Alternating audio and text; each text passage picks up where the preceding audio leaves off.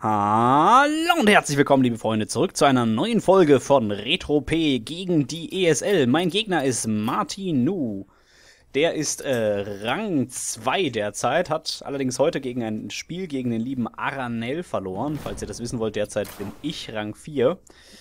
Soll heißen, wenn ich den schlage, ist meine Wahrscheinlichkeit aufzusteigen sehr groß. Ich weiß, dass er gegen Aranel verloren hat und da ich gegen Aranel schon gespielt habe, weiß ich auch gegen was er verloren hat. Und zwar spielt Aranel einen Divine Zoo-Deck und einen ähm, Midrange Shami.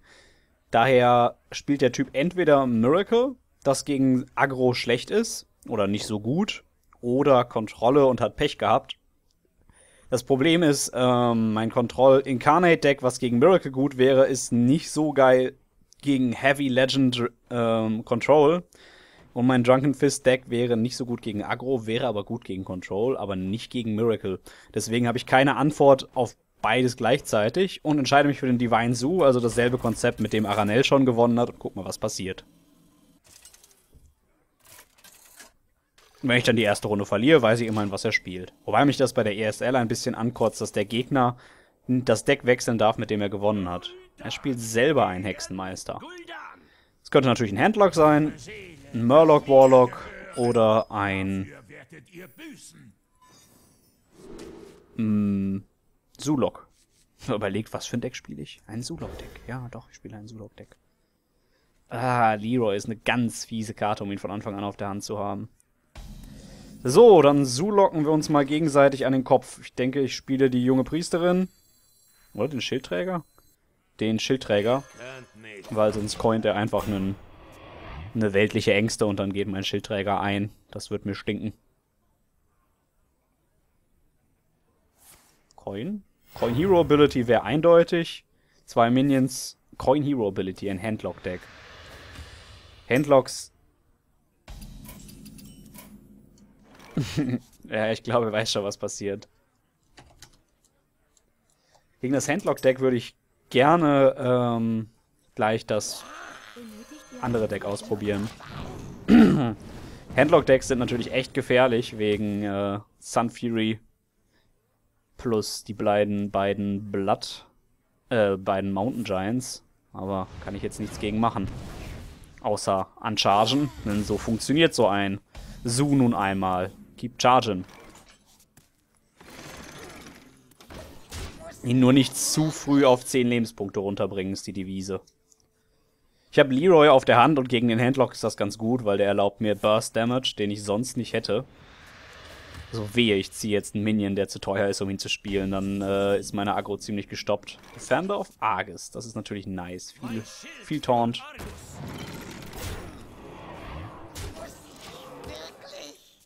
Sieben Schaden, ah, neun Schaden auf dem Feld, sechs Schaden auf der Hand. Hellfire.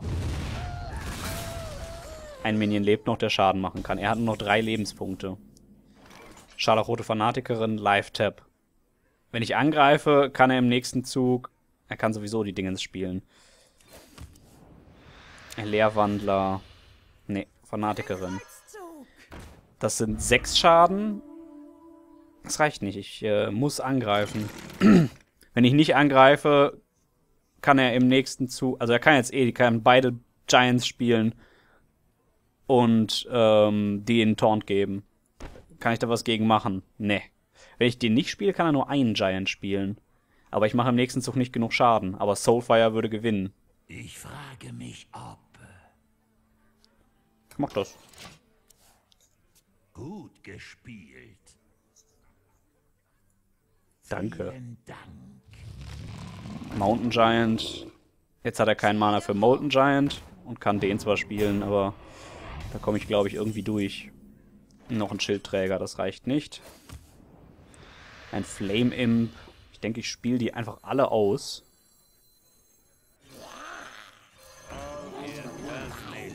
Mm, und fange an, mich durch das Ding durchzuhacken. Ich habe reichlich Taunts. Im nächsten Zug kann ich das Ding glatt machen und das Dumme ist, er hat, also er hat jetzt einen Taunt gespielt, das ist gut. Und er kann, ah, wenn er jetzt noch einen Hellfire hat, kann er mein Board resetten. Und behält seinen Giant. Das wäre unangenehm. Ich hätte den da auch reinlassen. Nee, dann. Doch, ich hätte den da auch reinlaufen lassen sollen und dann hätte Hellfire nicht spielen können. Ich frage mich, ob. Wobei, dann muss er seinen Giant opfern, wenn er das Board removaln will. Es sei denn, er hat dazu auch noch eine weltliche Ängste. Was er nicht zu haben scheint. Oh, da kommt ein Hellfire. Was aber heißt, dass er nur noch 10 Lebenspunkte hat. Soulfire gewinnt. Ja. Hat er noch weltliche Ängste? Nein. Hat er Taunt? Hat er Taunt?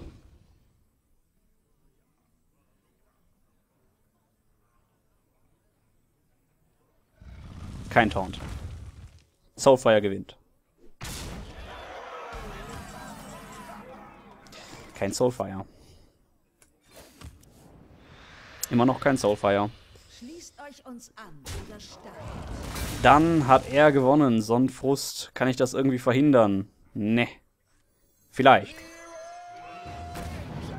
Weltliche Ängste. Weltliche Ängste in Soulfire. Damn it. Ein Handlock-Deck. Okay. Dagegen stelle ich gerne mein Drunken Fist Paladin Deck.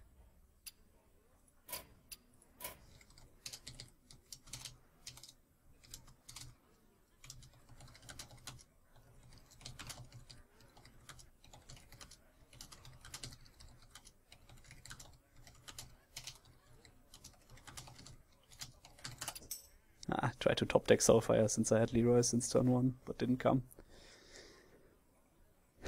Das hat leider nicht gereicht.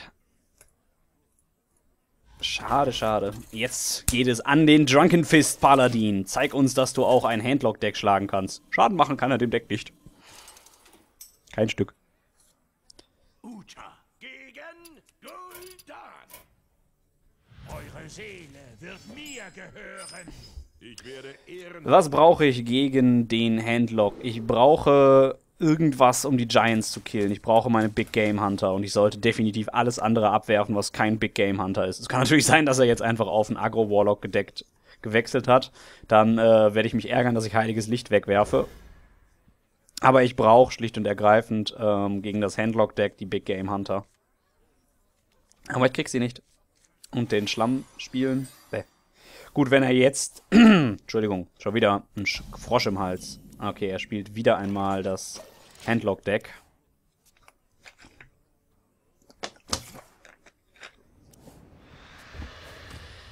Und ich hätte, glaube ich, meine so Drake halten sollen, um Handauflegung. Hm. Oder mein Kodo und hoffen, dass ich einen Aldor Peacekeeper ziehe. Ich wollte den Schlamm nicht spielen, weil ihm mehr Schaden machen hilft ihm mehr, als es mir hilft. Ich werde es jetzt vielleicht trotzdem tun, damit ich den ersten Mountain Giant töten kann. Hier, 1, 2, 3, 4 und dann noch einen True Silver draufhauen, dann ist der erste Mountain Giant tot. Aber ohne meine Peacekeeper, ohne meine ganzen Kombos, wird das hier ein echt unangenehmes Spiel. Twilight Drake, eine Eule wird reichen.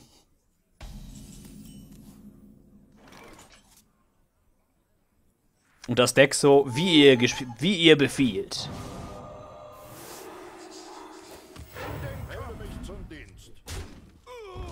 Ähm, das Dumme ist, wenn ich ihn nicht. Er hat sowieso schon acht Karten, er kann nicht viel mehr ziehen. Im nächsten Zug kann er noch einmal eine Karte ziehen. Ich werde ihn nicht hauen. Ich äh, kann derzeit keine vier Giants handeln. Ich kann nicht mal einen. Ich kann gerade einen handeln. Vielen Dank. Gern geschehen. Das war ein Fehler. War es nicht. Ah, er kann die Eule killen. Das ist ärgerlich. Wenn der zweite Twilight kommt. Kommt er? Ja, kommt der zweite Twilight Drake und ich habe keinerlei Antwort auf den. Außer Equality. Spiele ich die? Nein, definitiv nicht.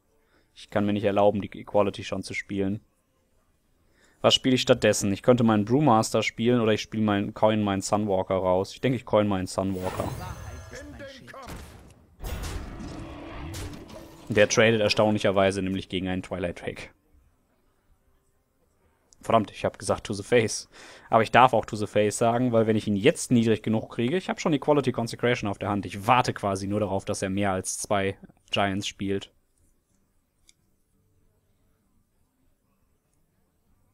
Oh, er kriegt den Schild kaputt.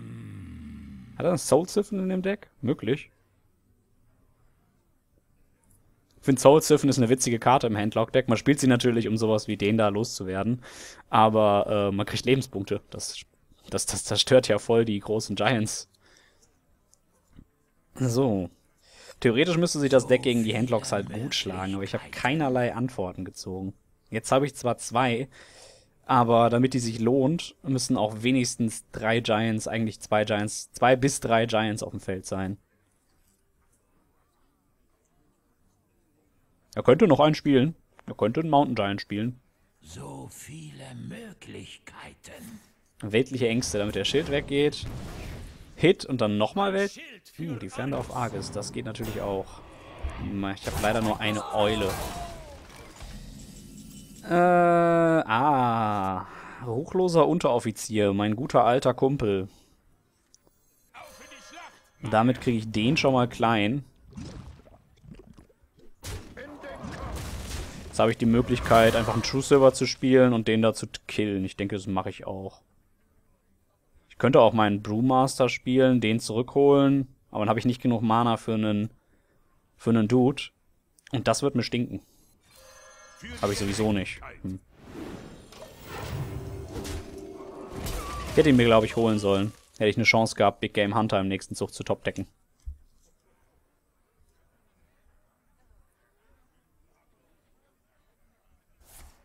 Er live tappt. Kann es sich ja erlauben.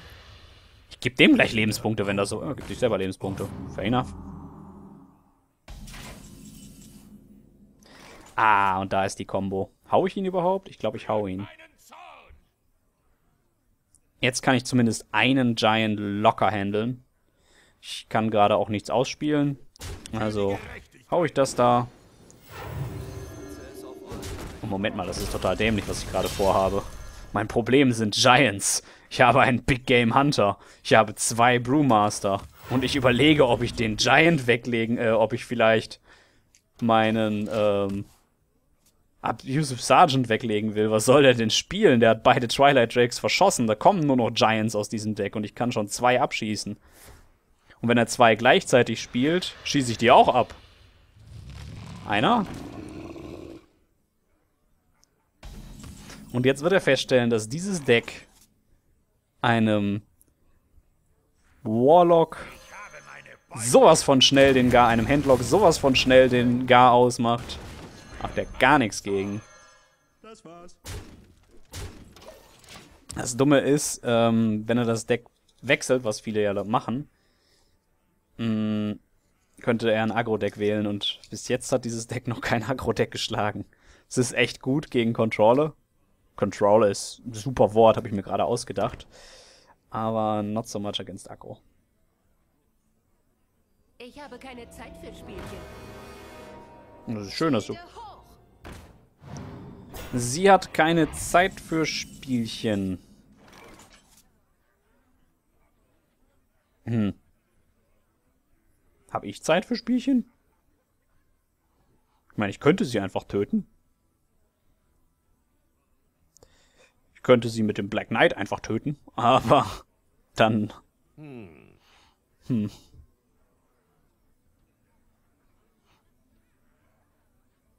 Tja, ich denke, ich töte sie einfach und das, was er klaut, töte ich danach auch. Was Besseres fällt mir gerade nicht ein. Oh, mein armer Abusive. Äh, Lay on Hands oder Summon Dude? Ah, Lay on Hand. Ich habe nicht meine Ka Oh, und der zweite Großwildjäger. Damit können wir das Ganze schon GG callen. Er kann beliebig, er kann, er hat nur noch zwei Giants, drei Giants hat er noch. Und ich kann alle drei beantworten. Vor allen Dingen habe ich eine gute Antwort auf seinen Double Giant Zug, der Ancient Watcher. Er könnte jetzt zwei Giants spielen. Hat er eine Eule im Deck oder warum macht er das, was er da macht?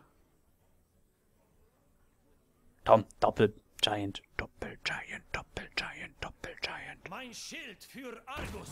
Oh.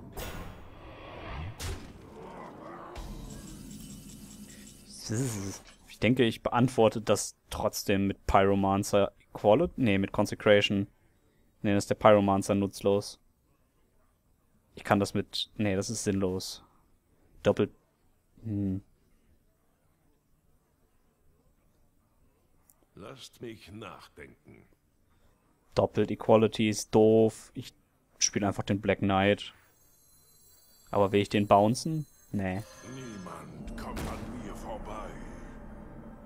Ich warte ja eigentlich nur auf seinen großen Zug, damit ich den kontern kann. Also mache ich den hässlichen kaputt? Nee, ich mach den da kaputt. Der kann auch angreifen. Der andere pff, macht mir jetzt zwei Schaden pro Zug. Ich habe noch einen Holy Light im Deck.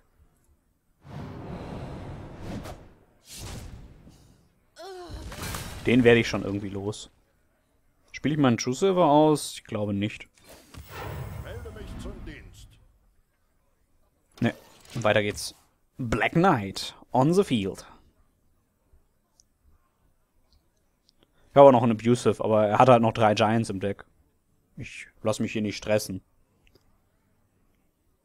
Bis er seine drei Giants nicht gespielt hat, spiele ich meine Combo nicht aus. Man soll schon beide ähm, Molten Giants spielen. Dann denke ich darüber nach, ähm, meine Combo zu spielen. Das ist halt Handlock ist ein bisschen primitiv. Es gibt vier Giants, dann ist das Handlock-Deck vorbei. So viele Möglichkeiten. Dann gibt es vielleicht noch ein paar Legendaries, ein Lord Jaraxxus, wenn es ganz ernst wird.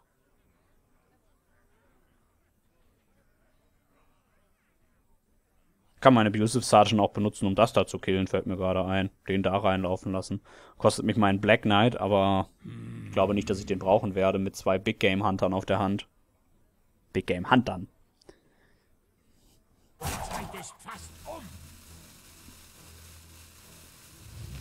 Hm, da kommt der zweite Giant. Der dritte Giant. Und? Den vierten Giant hält er sich auf der Hand zurück. Nachvollziehbar. Und dann soulfired er meinen äh, Black Knight und verliert seinen Großwildjäger Pita. Ach ja. Weißt du was, Warlock? Das hier ist ein Pyromancer. Der hat einen Freund. Den hier.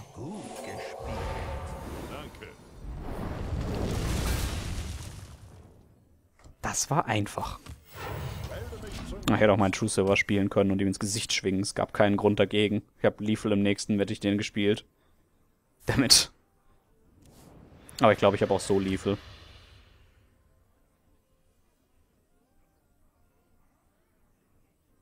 Schilde hoch! Er kann nichts mehr Taunt geben. Kodo. Go, Kodo. Aber erst zählen, glaube ich, nicht diesmal nicht wieder Lethal übersehe. Wir machen drei Schaden. Wir machen sieben Schaden. Natürlich haben wir Lethal. Gut gespielt. Für die Gerechtigkeit. Und Rums. Und Rums. Und Rums.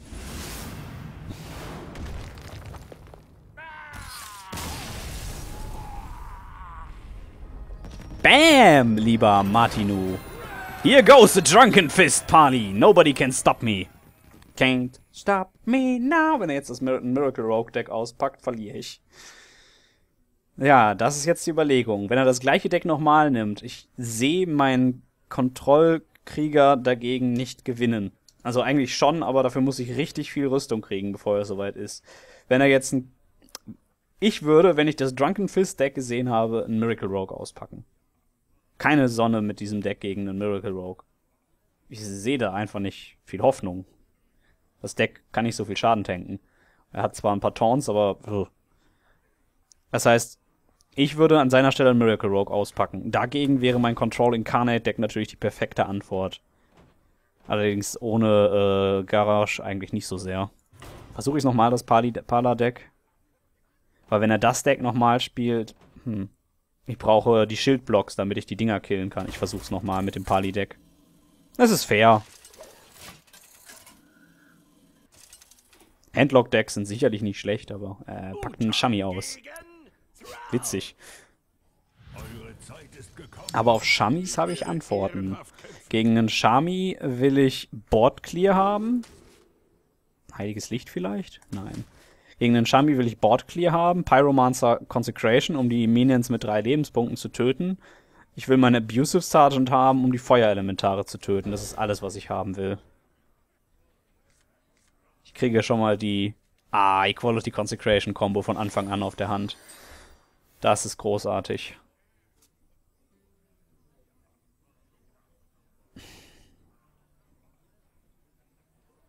Schauen wir mal, wie sich das Deck gegen einen Shami schlägt.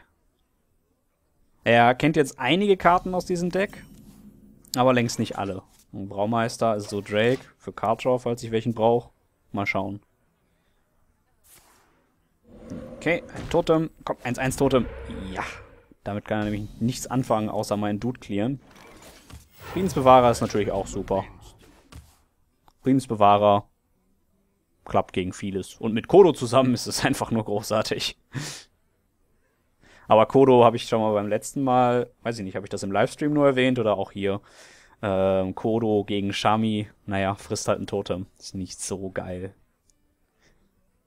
Überhaupt, wenn Shami und ah, die Agentum Knappin, dass einer mit Blood Knight ist. Ich habe keinen Big Game Hunter auf der Aber ist egal, ich habe einen Friedensstifter auf der Hand. Zack, er tradet. Der schwarze Ritter. Spiele ich was? Das Einzige, was ich spielen könnte, wäre Pyromancer, Random irgendwas, aber ist sehr unnötig. Ich sitze das aus, bis er wenigstens Feral Spirits und im besten Falle einen Flame Tongue spielt. Dann spiele ich meinen ersten Board Clear. Und hoffentlich, und werde halt gleich einen so Drake Coin. Ist ein guter Coin. Auch wenn er nicht ganz so geil ist, weil der Gegner da ein Spellpower Totem liegen hat, was natürlich heißt, dass er das einfach, ähm, ein Yeti. Mhm. Und hittet er das Ding? Tut er.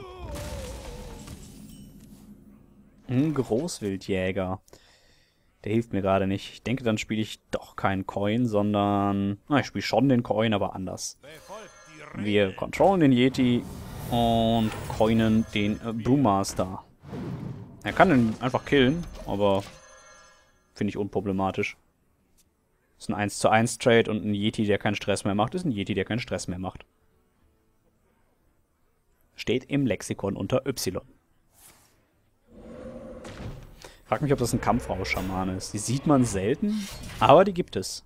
Ähm, ich hätte gerne einen Schlamm. Das wäre Wunderschlamm. Äh, schön. Aua, mein Gesicht. Das waren zwei Damage. Wie soll ich die denn verkraften? True Silver Champion. Ich könnte anfangen, mich durch seine Minions zu metzeln, aber ich kann auch einfach nur so Drake spielen und chillen. Ein Sunwalker. Ich will mich nur durch seine Kacke durchkontrollieren, bis er anfängt, seine er kann kein Feuerelementar spielen.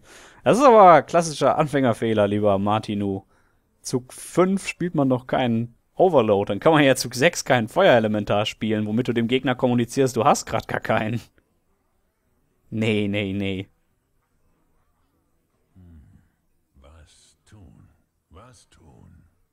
Ich meine, ich habe schon halt eine Quality Consecration Combo auf der Hand. Das ist großartig. Wenn er den so Drake am Leben lässt, was äußerst unwahrscheinlich ist, kann ich im nächsten Zug auch einfach mal eine Consecration ohne Equality spielen. Weil ich habe ja auch schon Pyromancer Equality auf der Hand. Was eigentlich alles ist, was ich mir gegen den Schamanen wünsche. Auch, dass er mir keinen Schaden macht, ist äußerst hilfreich. Oh, haut er den so Drake? Spielt er einen Minion? Ah, Rockbiter Weapon, das funktioniert. Ist aber ein 1 für 1 Trade. Komme ich mit klar. Oh. Ich hätte gedacht, dass er sich selber Rockbitert, aber wenn er meint. Ruchloser Unteroffizier ist gut, weil ich habe schon meinen Big Game Hunter. Das heißt so viel wie ich werde durchaus einen, den ersten Feuerelementar los, den er spielt. Ich spiele das total entspannt gegen den Shami. Dieses Deck ist ohnehin total entspannt. Ich sollte es den Marihuana-Paladin nennen. Das ist ja schon zum Einschlafen entspannt. Ein Flock. Naja. Dann eben ein Frog. Und da ist das Totem. Was ärgerlich ist, weil meine Spellpower gerade weg ist. Wie machen wir das? Das Ding muss weg. Oh, wir Hammer of Roughness scheinbar. Weil soll ich was anderes spielen als das Notwendige. Hammer of Wrath. Hm, zweiter Pyromancer. Das ist ziemlich gut. Muss nur kurz einmal zählen. Ich habe neun Karten auf der Hand. Das heißt, wenn zwei Pyromancer, spiele ich im nächsten Zug äh, einen Pyromancer plus Consecration.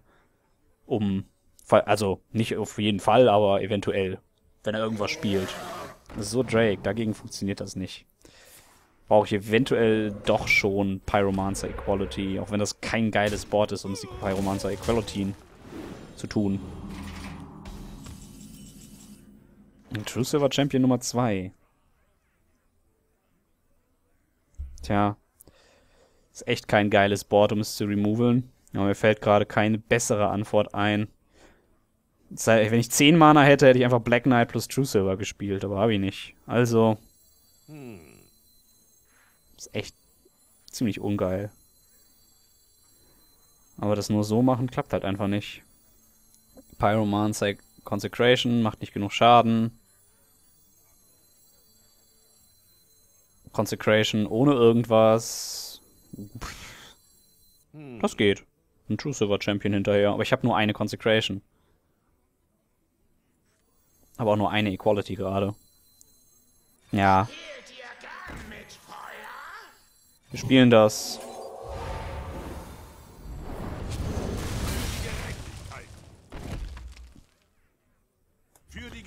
Normalerweise würde ich das nicht tun, im Gegner ins Gesicht hauen mit dem Drunken Fist Pali. Ich mache es jetzt auch nur, äh, weil ich zwei True Silvers habe und es sehr ärgerlich wäre, wenn er den einfach äh, mit Harrison Jones spielt und dann Kartenvorteil kriegt. Derzeit habe er sieben Karten gegen meine sieben, das ist okay. Aber wir müssen das nicht ändern, dass das okay ist. Und noch ein Yeti. Kann ich doch gar nicht killen mit dem True Silver. So ein Ärger. Hey, ein Schlamm.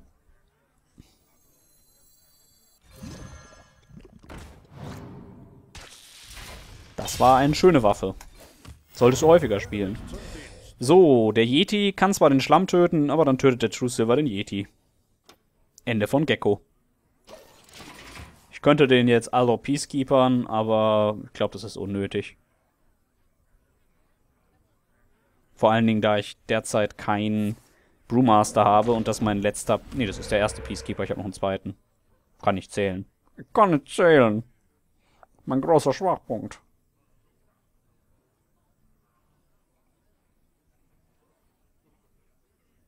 Er spielt seine Feuerelementare einfach nicht aus. Und gleich viele Karten im Deck. Er hat sieben Karten auf der Hand, ich habe sieben Karten auf der Hand. Er hat eine Karte auf dem Feld, ich habe anderthalb Karten auf dem Feld, aber seine eine Karte ist so gut wie meine anderthalb, insofern ist das egal. Das ist echt spannend, dieses Duell gegen den Shami kann mir echt vorstellen, wie er gegen Aranel gespielt hat. Warlock gegen Warlock. Aranel spielt seinen Su, er spielt seinen Handlock. Gewinnt. Ah. Ich warte noch auf das zweite Mana-Teil-Totem. Rockbiter Weapon? Um den zu töten?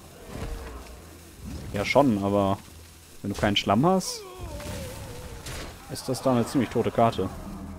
Aber dann spiele ich den Alter Peacekeeper. Vor allen Dingen, da ich jetzt gerade den zweiten getopdeckt habe. Das da muss weg. Da kommt der Alter Peacekeeper. Und dann einfach nur ein Rekrut. Normalerweise spielen Shamis nicht so viel Taunt. Vielleicht Defender of Argus. Aber dafür reicht mir äh, schon genug Begründung für einen schwarzen Ritter auf der Hand zu sitzen, glaube ich. Unbound Elemental. Der stirbt nicht gegen Consecration. Oh, Gewittersturm. Zwei, zwei, zwei, zwei, zwei, zwei, zwei, zwei, zwei. Ich weiß, du kannst es schaffen, eine 2 zu würfeln. Damit. Hm, Unbound Elemental, der größer ist, als dass ich ihn killen könnte. Consecration. Das Pyromancer würde den nicht grillen. Heiliges Licht. Tja, ich glaube, da muss ich den sauren Apfel beißen, weil das Ding da weg muss und Pyromancer nicht spielen, aber Consecration plus True Silver. Das Ding nicht cool. Die Alternative ist ein bisschen noch warten, bis ich den äh, buffen kann. Aber ich glaube, ich möchte nicht gegen so ein Board weiterspielen. Das ist mein zweite Board-Clear-Combo. Ich habe dann nur noch eine Equality Pyromancer-Combo und eine Consecration im Deck. Aber es ist das Beste, was mir gerade einfällt, um den da loszuwerden.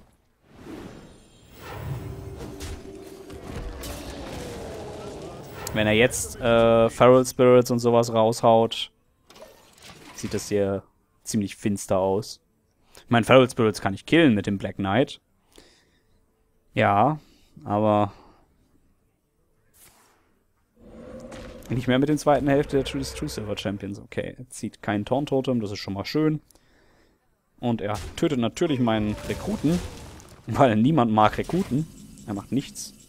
Eine Eule. Eine Eule ist gut. Eine Eule macht das Mana-Tide-Totem nämlich kaputt. Ähm, tatsächlich finde ich Wild Pyromancer Heiliges Licht.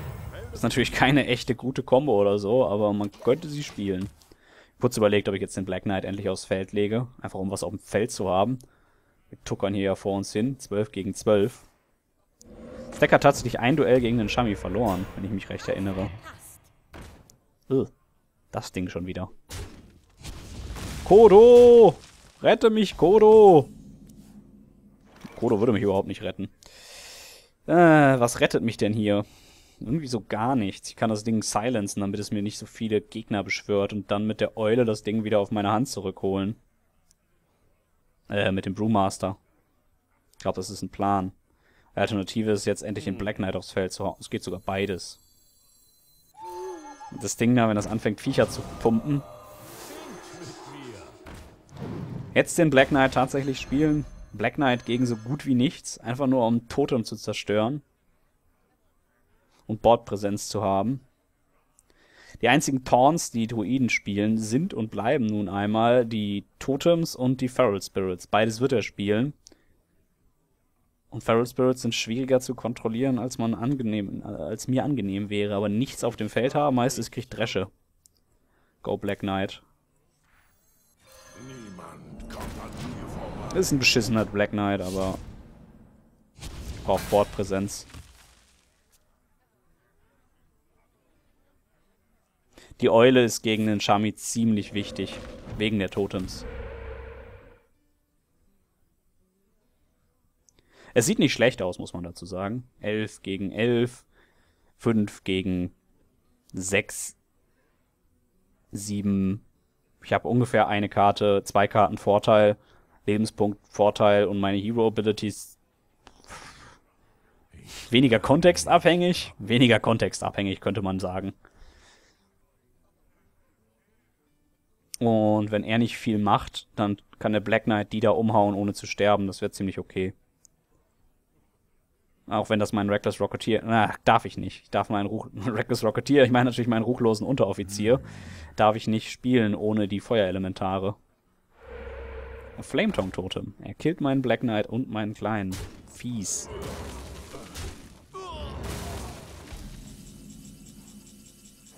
Eine Quality Pyromancer Combo, die nützt mir ja wohl gerade gar nichts.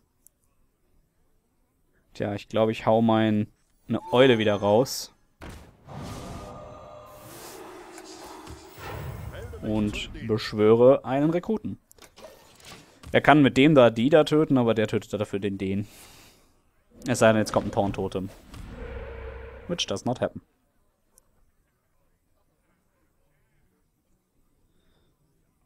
Ich hätte auch einfach Pyromancer Holy Light spielen können. Bin ich blöd. Das hätte funktioniert. Wie sau hätte das funktioniert. Naja, mal gucken. Vielleicht reicht das ja sogar. Pyromancer Holy Light, best Combo ever apparently. Erdschock auf die olle Eule, um sein Viech zu beschützen. Wenn ich einen Bounce spiel, äh, ziehe, spiele ich das. Einfach um äh, den Damage wegzukriegen. Das ist kein Bounce kriegt den Damage mit dem Peacekeeper weg, aber wie erbärmlich das wäre. Holy Light will ich noch nicht spielen. Schlicht und ergreifend wegen dem Pyromancer, der auf der Hinterhand sitzt. Wenn er ein Board aufbaut, kann ich das mit zwei Spells clearen, also ein Board aus Totem wieder, wieder aufbaut, kann ich das mit zwei Spells clearen. Da kommt der Feuerelementar. Da habe ich doch drauf gewartet. Manhandles meinen... Ach. Aua. Mhm. Pyromancer Consecration würde nicht aus... Moment mal, würde schon ausreichen. Wäre nur komisch. Aber ich glaube nicht, dass ich das will. Ich denke, Abusive Sergeant! Big Game Hunter. Hit und Dude. Melde mich zum Dienst. Mir fällt gerade auf, dass ich eine Equality Consecration Combo auf der Hand habe. Ich hätte durchaus meinen Pyromancer mit Holy Light spielen können. Damn it. Retro, denken, bevor du spielst.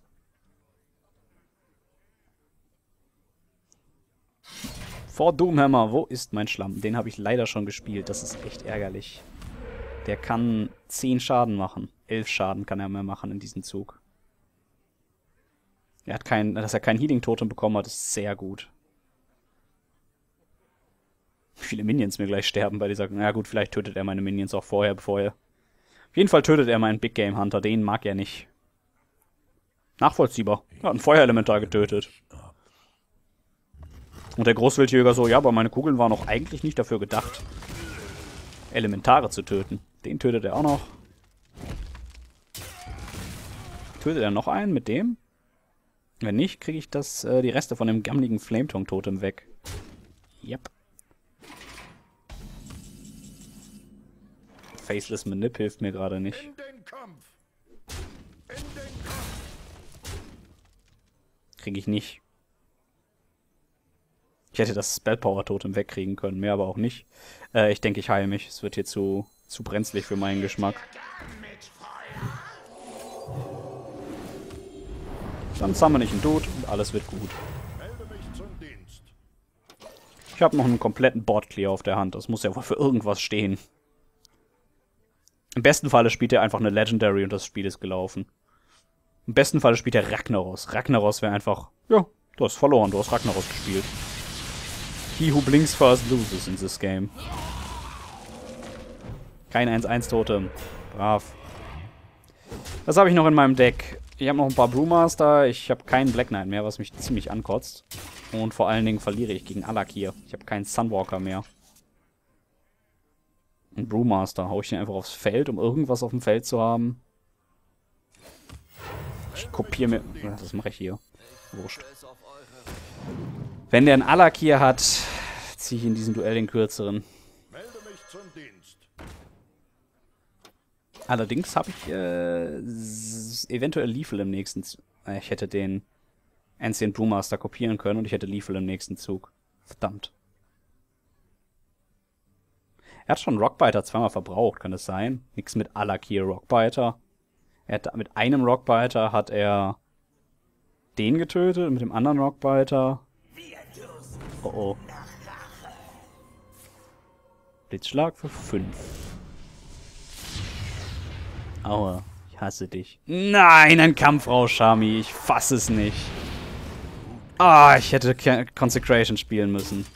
God fucking damn it.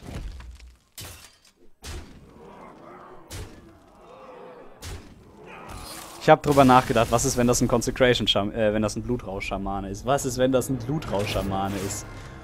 Die Antwort war einfach, ich sterbe. Ich hätte meinen Pyromancer nicht spielen sollen.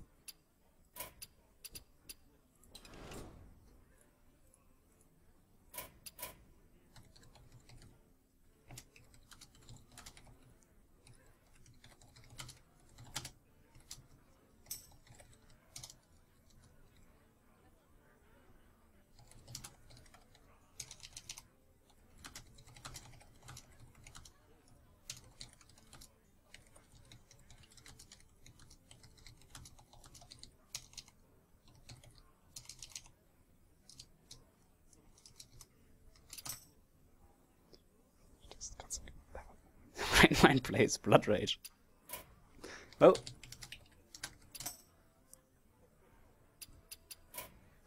Ah, so ein Frust. Naja, damit steige ich wieder ein paar Plätze ab und damit habt ihr Glück, denn das heißt, äh, morgen werde ich noch ein paar Runden spielen. Ich bin zwar immer noch unter den besten acht, aber es steht zu befürchten, dass, äh, wenn ich nicht nochmal gewinne, das nicht ausreicht, was ich an Punkten habe. Insofern brauche ich auch nicht mein neues Deck zeigen. Ich habe es euch ja auch schon gezeigt. Ich habe nur nichts dazu gesagt. Aber wie gesagt, es wird verlinkt sein und ich werde vielleicht zu diesem Deck ein Video machen, denn das finde ich durchaus ziemlich witzig. Ich bedanke mich fürs Zusehen. Ärgere mich eine Runde, dass ich da nicht einfach Consecration gespielt habe. Oder mal zwischendurch mein Lay on Hands getopdeckt habe. Und sage, wir sehen uns beim nächsten Mal wieder. Ciao, ciao.